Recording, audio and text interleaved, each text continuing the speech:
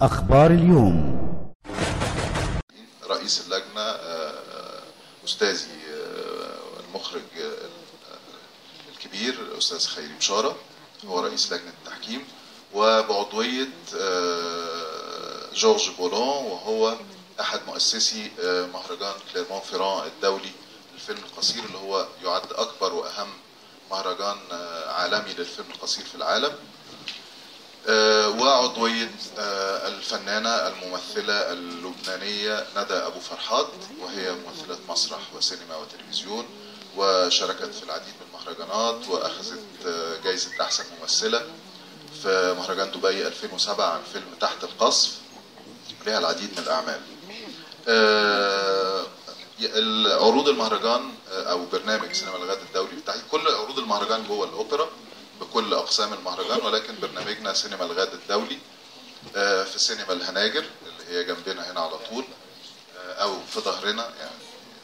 وسينما جميلة ومعدة على أحدث التقنيات يعني.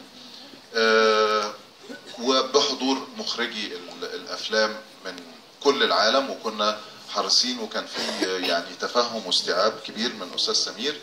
وحرص لأنه و- وده بقى هنا الجانب اللي ليه علاقة بالدولة المصرية. آه، عندنا فيلم Dancing with Maria آه، ده إيطالي وارجنتيني سلوفاني آه، ده فيلم جميل جدا وهيبقى ده فيلم الافتتاح.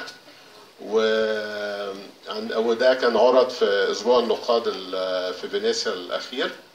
آه، في فيلم برضو آخر اتعرض في أسبوع نقاد فينيسيا الأخير وهو طفل لا أحد No One's Child آه، ده فيلم صربي كرواتي وده كان خد الجائزة بتاعت RaRo Audience Awards بتاعت آه، مهرجان فينيسيا اللي هي الأسبوع النقاد.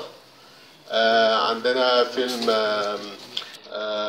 Hold Your Breath Like a Lover أحبس أنفاسك مثل العاشق. ده فيلم ياباني وده كان اتعرض في مهرجان لوكارنو آه، هذا العام.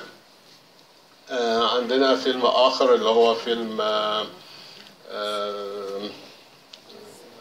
ده إيرانيان فيلم آه ده ياسين الإدريسي وده إنتاج من هولندا ومن المغرب ومن مصر. آه في أيضا هيبقى ندوة عن ال- النقد السينمائي وكيف تصبح ناقدا. دي هتكون يوم 14 في المجلس الأعلى للثقافة. آه طبعا يعني كل البيانات موجودة في الملف الصحفي. شكرا. بس عايز أ- ما قلتش لجنة تحكيم آفاق السينما العربية آه، هي برئاسة آه، الفنانة آه، ليلى علوي وعضوية الناقد محمد رضا والمنتج التونسي نجيب عياد.